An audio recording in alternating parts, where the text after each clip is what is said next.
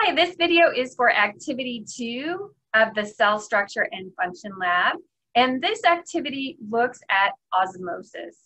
It looks at which direction water moves either into or out of the cell in an isotonic environment, a hypotonic environment, and a hypertonic environment. So if you don't remember what those terms mean and you don't remember what osmosis means, it's very important to read the introduction to the lab and review your lecture notes before you start because there will be questions that require you to know those terms. So the procedure for this lab is a little complicated. I am going to walk you through it and I'm only going to demonstrate one part of it to you. I'm not going to demonstrate all of it. You all have some basic lab skills at this point and you should be able to carry this out. It's just, you know, walking through this a step at a time is, is a little more complex than some of the activities we've done. Okay, so I'm sharing my screen first and then I'm going to go to the board and talk about things and I'm also going to show you a couple of things. So really make sure you read all of the steps through, even though I'm going to talk you through them. I think it's really important to read them for yourself, highlight, and really know what you're doing before you start because you only have one shot at this. You only have one set of materials for doing this. Having said that, if for some reason you do mess up, you know, you always have your lab partners to rely on, but really let's, we, we only have one set of dialysis tubes. So even though you could possibly get more sugar, you can't get more dialysis tubing. So let's try to make it work right the first time. You really want to make sure you rinse everything out if you used it for activity one. You don't want iodine interfering with anything that's happening here and you don't want anything else. You want to make sure that they're just you know, super clean and rinse before we start. Including the spoon, you will actually need the spoon. Okay, so now you're going to take two beakers. These are your beakers. And you're going to label one of them 40% and one 20%. And this is where you're going to make your stock sucrose solution that you're going to be using for your extracellular fluid and the fluid inside your cells. And we're going to set up three different scenarios. We're going to set up an isotonic scenario, a hypertonic scenario, and a hypotonic scenario. So the first thing you need to do is prepare these two solutions. I'm going to walk you through how to do that. But if you want to just read step by step here, I'm going to walk you through it on the board too. But if you want to look at it here, you can see the steps of how you're going to do that. Okay, so you're going to label them both, and then you're going to add the contents of one entire package to the 40%. When they say one entire package of the sucrose, they mean this. Okay, so your 40% beaker is going to get one entire package of this. When you do that, when you pour this into here, you're going to note the volume. Okay, so if it goes to the 100 milliliter mark, you're going to write that down because now you want the 20% to be exactly half of that volume. So if this on this one, your sucrose went to 100, you want it to go to 50 on your 20%. And you'll use your spoon and the sucrose in the second pack to make sure that that's exact. Okay, so you want the 20% to be exactly half of the 40%. Then you're going to add equal amounts of water to each one. And you need to be really exact. You're going to use your graduated cylinder and you're going to use the, the bulb pipette. I'm so sorry, I can't find one. I don't know where mine have gone to, but you're going to use the little squeezy bulb pipettes and you're going to add or remove water until you get exactly to the 100 mil, pour it in, okay, do 100 more, pour it in, and then do 50. You need exactly 250 mils of water in each one. One of them has twice as much sugar as the other. The other tip I have is that you should try to use warm water because warm water will help the sugar dissolve more rapidly. And if you do use warm water, I would use it in both. The directions suggest doing it only in the 40% beaker. I would just go ahead and do it in both. Stir with a spoon until it's completely dissolved. It should be clear with no undissolved sugar in there. Okay, then you're going to add 10 drops of red food coloring to just the 20% beaker. Now I'm going to quit sharing my screen for a minute so we can go just to the board and I'm going to walk you through that part again. I know this is really redundant, but I just really want to make sure that everyone knows what you're doing. Okay, so this is for preparing your sucrose solutions. And you're going to have two beakers. One is your 40% and one is your 20%. So first you're going to add your sugar. This is going to be the entire 100 gram sucrose packet goes into the 40%. And only about half of it is going to go in here. But again, you're going to look at the volume and make sure it's exactly half. Okay, then you add your 250 mils of warm water to each one. You stir and dissolve. And then you add your 10 drops of red food coloring just to your 20% beaker, not your 40%. Okay, now what we need to do is set up our experiment. We're going to have three cups. You're going to label them A, B, and C. So you're going to use these cups.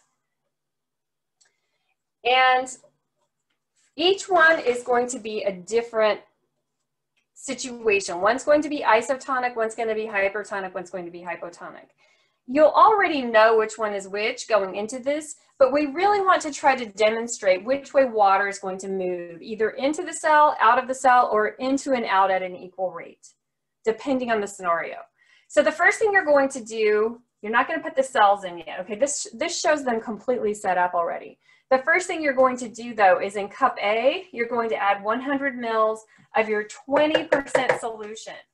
So you're going to pour it from the beaker into a graduated cylinder and then pour it into the cup. You want to be very precise. Again, using your pipette to add or remove solution until you get to exactly 20 mils, I'm sorry, exactly 100 milliliters of the 20% sucrose solution. Okay, so that'll be red. So I really should have drawn this one red. And same here, this will be red because you're also going to put 100 mils of the 20% in cup B. Okay, in cup C, you're using the 40%, so it won't be red. So 100 mils of the 40%. Again, these don't have the bag in yet, okay? Now you're going to prepare your dialysis bags, which I'm going to show you how to do in a minute. And you're also going to weigh them, but you're not going to weigh them using a scale because we don't have a scale available to use. You would have to weigh these in grams and most of you don't have that in your house. If you do, I'm going to ask you why you have that. so we're going to weigh each bag by volume displacement. You're going to be putting water into a graduated cylinder, dropping your pretend cell into it to see how much water is displaced. And you're going to record that as your quote initial weight, but it's really your initial volume displacement. Then you're going to add your cells into each environment, and then you're going to wait for 60 minutes, pull them out, and weigh them again. You'll weigh them again, the same exact method using volume displacement. And I will talk about that in more detail too. Okay, let's talk about how to prepare your dialysis bags. The way you're going to prepare your dialysis bags is you have dialysis tubing in this bag. Oops, mine's not in there right now. Okay, it looks like this. It's just this crinkly tape, and you should have three pieces of it. You're going to soak that in water. And you can't soak it too long. So you could go ahead and put this in here and have it ready to go. Okay, once you've been soaking it for a period of time, you're going to pull it out. And what used to just feel like crinkly tape is now going to, if you scrunch it between your fingers, it's actually going to open up like a tube, which is pretty cool. And once you have this end opened up like a tube, you're going to try to open up the other end too. You actually want to go along the entire length and open the whole thing up. So you're just going to keep scrunching it until it becomes a tube all the way down. Okay, and this might take a few minutes to do. okay, we don't actually need it this big. At some point, you're going to be trimming some of this off, so make sure you have some scissors around to do that. It doesn't say to do that in the instructions, but I'm just assuming you're going to have to. Okay, at one end, one end of this tube, we're going to either tie it in a knot or we're going to use the clips that are provided. You could also use dental floss. That's what we do in the lab at school is we use dental floss to tie one end. Okay, this isn't as easy as I thought it was going to be. Okay, once you get the entire thing open, and actually you probably just need the two ends really the most open. You're going to pick one end to tie first. So I'm going to use the tie method on mine. So I'm just going to twist it, twist it, and then I'm actually going to tie the ends. If you are going to use the tie method, you definitely don't want to trim it initially. You'll trim it at the end. If you don't want to use the tie method, then you can use the clips. If you do tie it, make sure you pull really, really tight and make sure that's really secure. Okay, your other option is to use these little clips that are provided and you would put that on the end and clip it. There's also nothing wrong with doing both. Then you really know your bag's not leaking. If your bag leaks, the experiment's gonna get wrecked. Oops. Okay, sorry. okay, here it is. Now what I'm going to do is I'm preparing bag A.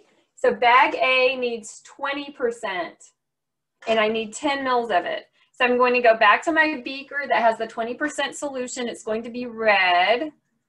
And I'm just using water for demonstration right now. So mine's not red. But you're going to very carefully from your tiny little adorable graduated cylinder. This is kind of tough to do, but you want to kind of wrap the tubing around the mouth and then slowly, carefully pour it in. Okay, and then you have some tubing left. And gosh, you know what? I'm wrong. You might not need to trim this. This is actually more full than I thought. You're going to twist it until you've really twisted down to the level of the water. So it should be, this is a, you know, we're making a little mock cell here. So you want to get it all the way tight. And now you have two choices. You can either tie it or, you know, on this end, it might just be easier to use the clip. But twist, twist, twist, you could tie it and use the clip. You just really want to make sure it's very secure. If you use the clip and you didn't tie it, make sure you move the clip down and you really make sure that you don't have a whole lot of space in there. Okay, so this is now our bag with our 20% solution and it's going to go in the 20% cup, but I don't do that yet. I have to use the method of volume displacement now to determine what we're going to call the initial weight of the cell. Okay, so to do that, let me share my screen with you.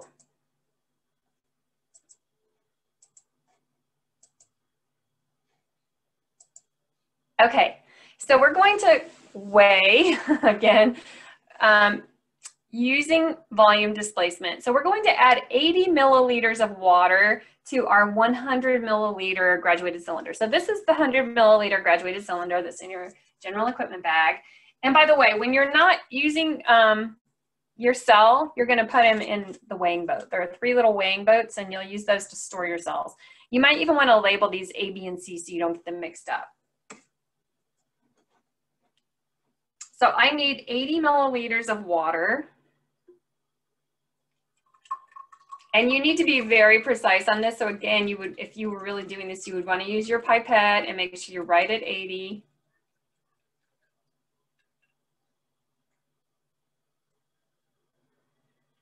And then you're going to add the cell and calculate the volume of water that it displaces. Okay, so I'm right at 80. So I need to go a little bit above 80 and I wanna look at the meniscus and now I'm right at 80 on the meniscus. Okay, now I'm going to drop my cell in.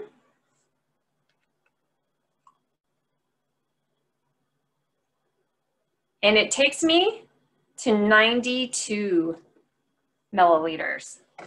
So 92 minus 80, that means 12 milliliters was my initial displacement. So this is the concept here. If I started with 150 milliliters, and once I put this rock in, it goes to 180. 180 minus 150 gives me 30 milliliters of water displaced. So that's how we're going to weigh each of our cells. So you're going to take the starting weight of each of your cells using this method.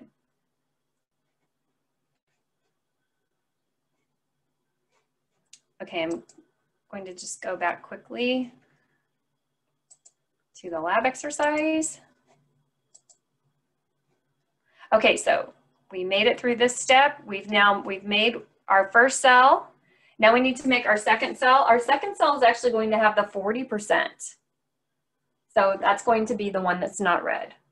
Okay, and then our third one is going to be another one with the 20%. So you're gonna be making two cells with the 20% and a third cell with the 40%.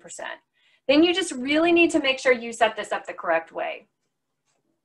So you've made all of your little cells. You're going to drop them into each of the correct cups for one hour. And then when you pull them out, you're going to weigh them again. I'm going to show you the data in a minute, but I just want to stop sharing my screen and just make sure one more time that we just go through these steps. Okay, so we prepared three dialysis bags, two with 20% solution, so two of them will be red inside, and one will be with the 40% solution.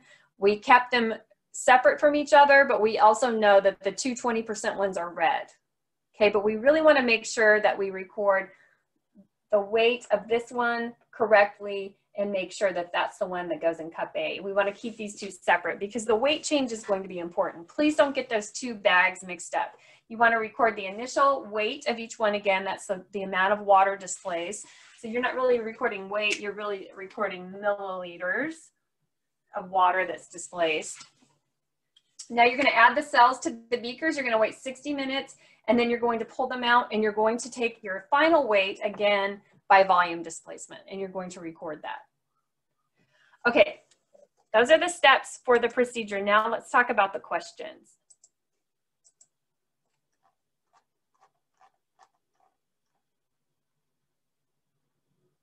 Okay, so gosh, you know, I really hate how they've done these tables. They get cut off. So you had your 20% and 20%, your 40 and 20, and your 20 and 40. So cups A, B, and C. You've recorded your initial volume, your final volume, and your change in volume. Now, when they say initial volume and final volume, they don't mean 80 mils and then 92 mils gave us 12 or whatever we calculated before. Um, when they say initial volume, they want the 12. And then final volume means at the end of the experiment, when you pull this bag out and did it again, what was the final volume? So then you're gonna look at your change in volume, your percent change in volume, and if it lost weight, that should actually be a negative number. Now, this is not actual data, this is made up, so your results might differ. But if the bag actually loses weight, if the, if the final volume is lower, you should actually have a negative number. Okay, now this is very important, this last column that you can't see right now. So let me try to fix this so you can see it. God. Er, this is so frustrating. Okay, is the cell environment hypotonic, isotonic, or hypertonic? So this column's worth the most points please answer it based on the environment of the cell, the ECF, not the inside of the cell. I'm sorry, it's hard to read here, but hopefully the lab that you will have posted on Canvas, that's going to be more clear so you can actually see it. Okay, now this question is very important. Explain what the change in volume of the dialysis tube indicated. Describe what happened to the cell when the volume increased and when the volume decreased. Okay, in other words, did water move into the cell or out of the cell? So right here it says the change in volume is due to a loss or gain of water due to osmosis. When the volume increased, the net flow of water was from the cup into the dialysis tubing. When the volume decreased, the net flow of water was out of the tubing into the cup. In other words, into the cell or out of the cell. And you want to explain that in your answer. Okay, so for this activity two, the most points are accurately identifying isotonic, hypotonic, and hypertonic in this last column, and then very thoroughly explaining what happened in question number three. Okay, that's it for activity two. Thanks.